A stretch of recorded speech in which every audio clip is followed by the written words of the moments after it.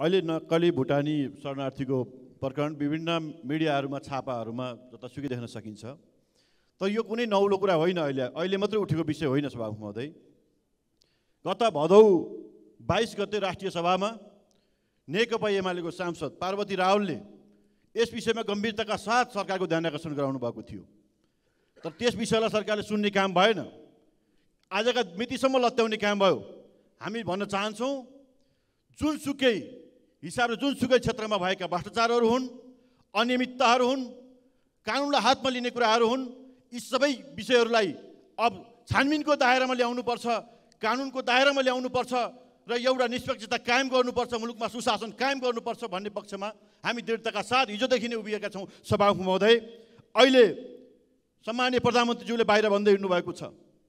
हामीले यो भ्रष्टाचारका सवालमा यो टेलर मात्रै हो फिल्म त आउन बाँकी नै छ भनेर सामान्य प्रधानमन्त्रीज्यू भन्दै हुनुहुन्छ। सामान्य प्रधानमन्त्रीज्यू हामी फिल्म हेर्नका निम्ति आतुर छौँ। हामी तपाईँले फिल्म देखाउनुहुन्छ भने टिकट काटेर बसेका छौँ सभापति महोदय। हामी टिकट काटेर बसेका छौँ फिल्म देखाउनुहोस्। हामीलाई अब विश्वास छ। अब वाइड बडी घोटाला काण्ड के हो? छानबिन गरौँ। बाँसबारी जग्गा घोटाला काण्ड के हो? यसलाई पनि छानबिन गरौँ। बाल मन्दिर जग्गा घोटाला काण्ड। त्यस्तै गरेर माता तीर्थ जग्गा घोटाला काण्ड।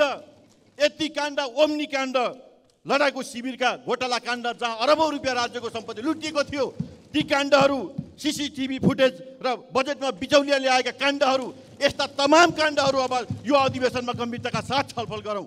र यस्ता सबै काण्डमा मुछिएकाहरूलाई एक एक गरेर कारवाही गर्ने हिम्मत हामीले गर्नुपर्छ। त्यस कारण त्यो नेकपा एमाले एकताबद्ध हुन्छ र हाम्रो साथ र सहयोग रहन्छ सभा महोदय यो राख्न चाहन्छु। र सँगसँगै भनिएको छ हामी कसैलाई पनि दोषीलाई उम्क्याउनु पर्छ भन्ने पक्षमा छैनौँ। दोषी कारवाही होस् तर आज सानु भण्डारी जुन अभियुक्त हुन्छ अभियुक्तले यही तेह्र गते दिएको